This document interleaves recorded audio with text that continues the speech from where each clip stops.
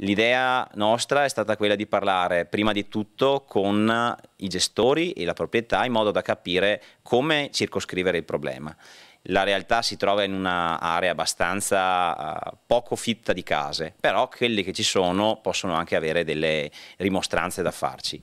Per quanto riguarda il rumore, molto probabilmente tutto verrà risolto anche grazie a delle rilevazioni che faremo con enti preposti a farlo, in modo da dare una risposta definitiva sia a chi gestisce il locale sia ai vicini.